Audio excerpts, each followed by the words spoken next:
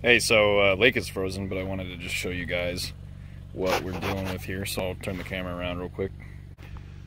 Very dense forest all around. Very nice sounds and smells here, but the lake is still covered in ice. So uh, yeah, some good snow. I saw some side roads that were not processed. So, you know, it's April, what, 23rd. So definitely going to be waiting until the earlier parts of May to get up here and do a ton of fishing, but I'm gonna look for some place that's not frozen and uh, we'll go from there.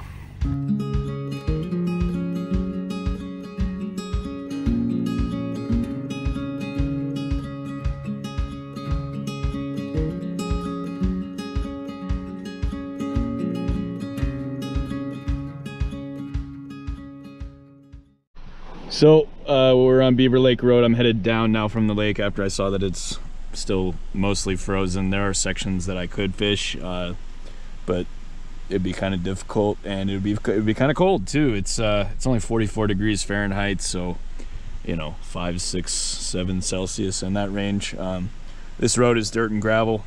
There are sections of it that are a lot worse off than this one. Um, definitely wouldn't put a 12 inch wheelbase on much more than what it's offering, but I didn't want to just go up to the upper lakes and spend a ton of time going a place that I couldn't even fish at. So I'm headed back down. There's a provincial or a regional park down uh, more towards the city that is uh, probably not going to be frozen. I'll do some fishing there, but very nice country. This is the first area that I saw snow on the way up, so shouldn't be much more of that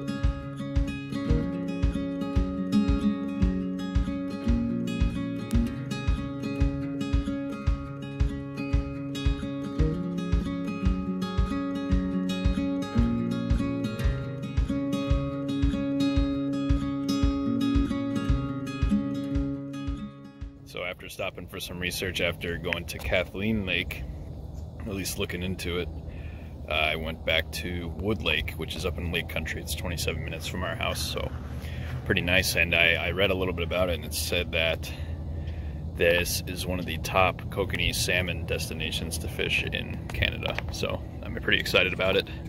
I'll uh, put my GoPro on, and you'll get a nice view of it from there pretty excited about this spot. It looks like there's a boat launch over there, but I'm pretty glad that I am over here.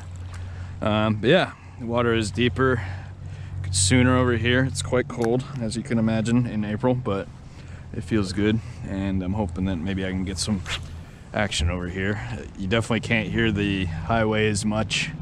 You can see that there are some vineyards along the lake, uh, and the highway runs up there. I'm kind of following it. You can see the, the traffic and there's definitely not as many people as there were in the regional park so yeah I'm excited about this little spot. The water's looking really clear over there. There was a lot of pollen. Seems like that's where it was accumulating so yeah and then I've got the uh, oh there's a fish jumping right over there. If only I had a boat you know there's a bunch of guys out on a boat uh, on boats fishing right now so I'm hoping that I'm a winner over here just with throwing a little light tackle off the shore. So, hmm, not bad.